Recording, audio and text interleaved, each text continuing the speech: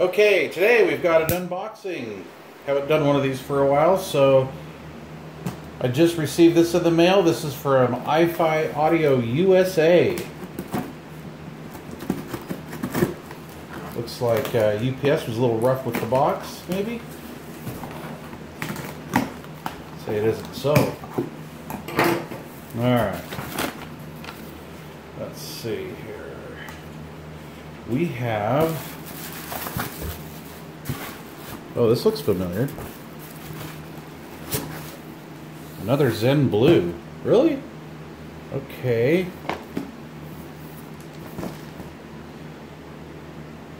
Zen upgraded. You know, I believe this is the new Zen Blue version 2. And how can you... Oh, wow, look at this. The silica packet broke open. Or something. That was weird. See that?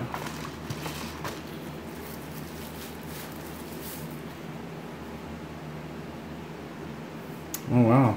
There's a little design in there. I don't know if you can see that on camera, if that's going to show up. So how do we tell what it is? Right there. Zen V2. This is version 2. This is the new updated version. Um, let's see.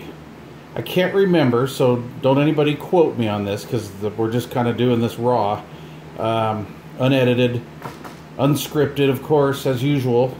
And um, version 2 was supposed to have less uh, jitter and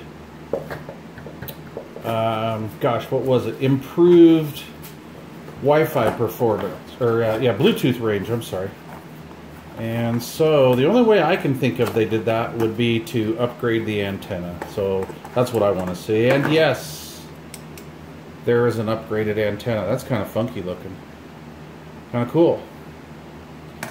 All right, what else came with this? Got the usual iFi RCA cord. I think that was like a foot and a half last time. And you know, really for OE cords, uh, these are good entry level cords. Really good. And then of course a AC wall adapter. And I like the fact that they kept with the old school, what we used to call coaxial type plug-in. So I like that. Still have uh, balanced stereo output, analog out, Toslink, and uh, coaxial. Very cool. Okay. Oh, I'm excited. So here's what I'm going to do with this puppy. Just kind of thinking off the top of my head here. I am going to do A-B comparison with this one versus the original Zen Blue.